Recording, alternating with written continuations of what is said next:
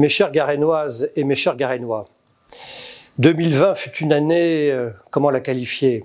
Évidemment extraordinaire, triste et éprouvante. Beaucoup de personnalités nous ont quittés, le président du conseil départemental, Patrick Devedjian. Euh, ce fut une année où, euh, plus que jamais, il a fallu que nous soyons unis. À la Garenne-Colombe, Grâce à vous, grâce à des dizaines d'entre vous, nous avons mis en place un réseau pendant la crise qui a permis de tendre la main à ceux qui étaient seuls, à aider ceux qui en avaient le plus besoin. Nous avons été la commune de France qui a été la première à tester massivement ces EHPAD. Nous vous avons distribué des masques, nous avons organisé une logistique pour faire en sorte que les particuliers ou les commerces puissent franchir cet obstacle si important et si imprévu. Dans les semaines et les mois qui vont venir, nous allons continuer notre effort collectif. Du côté municipal, nous allons mettre en place une plateforme pour aider ceux et celles d'entre vous qui perdent un emploi à le retrouver au plan local, avec une plateforme de partage entre les entreprises garénoises qui cherchent des salariés et ceux d'entre vous qui cherchent un emploi. Et donc pour tout cela, merci à vous tous, tous les garénois qui avaient participé à la lutte contre cette crise et avait fait en sorte que la ville de la Garenne-Colombe soit une ville où on n'est pas seul.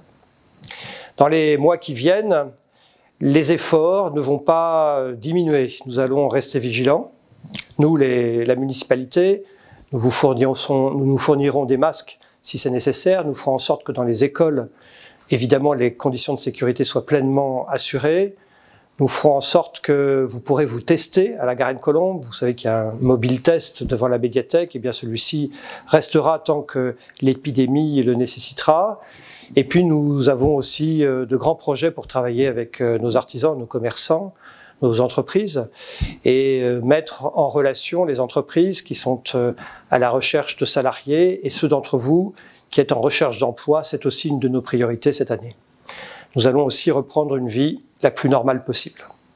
Avec des projets municipaux, le bio dans les écoles, le bio à la crèche. Euh, en matière de transport, nous allons multiplier les stationnements pour le vélo. Vous avez vu que la grande place de la Garenne, place de l'Église, place de la Liberté, a été inaugurée il y a maintenant plusieurs mois. C'est devenu un endroit de vie. Eh bien, nous allons faire la place désormais aux deux roues. Également la voiture électrique, puisque dès les premiers jours de janvier, vous verrez fleurir à la Garenne-Colombe euh, des zones pour recharger les véhicules électriques. Bref, nous essayons à la fois de maintenir l'effort de lutte contre l'épidémie, de faire en sorte que les uns et les autres, vous ayez le moins possible à souffrir de cette épidémie, que ce soit dans votre santé, que ce soit votre euh, isolement, que ce soit dans votre euh, emploi. Et de l'autre, la ville de la Garenne reconstruit et prépare l'avenir et fait en sorte que demain, quand l'épidémie sera derrière nous, eh bien, nous reprendrons une vie la plus normale possible. La Garenne-Colombe, euh, j'ai souvent euh, l'habitude de dire que c'est un village, que ce n'est pas une ville comme les autres. Vous savez que j'y crois réellement. C'est dans les crises qu'on s'aperçoit que, effectivement, vivre ensemble a une véritable signification. Cette crise euh, nous aura permis, à travers toutes ces souffrances, de nous rendre compte qu'effectivement, à la Garenne-Colombe, eh bien, on ne vit pas tout à fait comme ailleurs.